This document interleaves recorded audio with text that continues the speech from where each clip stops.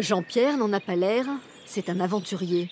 Cette année, il lance un défi au mois d'avril et tente déjà un premier rang de tomates, un mois et demi avant les seins de glace. S'il n'y a pas de gelée, théoriquement, on devrait avoir un peu d'avance en définitif. Bon. Vous aimez le risque? Oui, bah oui, bah, la, vie sans risque n'a pas de charme, vous savez bien. Charme sauvage chez François, cet adepte de la permaculture règne sur un désordre apparent seulement.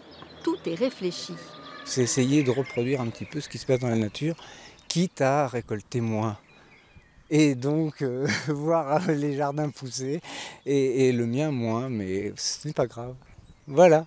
Donc c'est un jardin sans bêche avec de la paille du coup. Exactement, et donc, et donc un, jardin de feignants.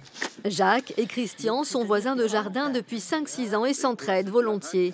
En ce moment, la préparation des potagers est surtout propice aux légumes racines. Planter les pommes de terre, hein, les couvrir, tout ça.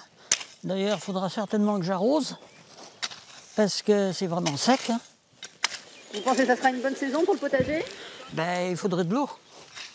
S'il n'y a pas d'eau, eh ben, c'est foutu. Fainéants ou bêcheurs, chaque année les Français dépensent en moyenne 20 millions et demi d'euros par jour pour leur jardin.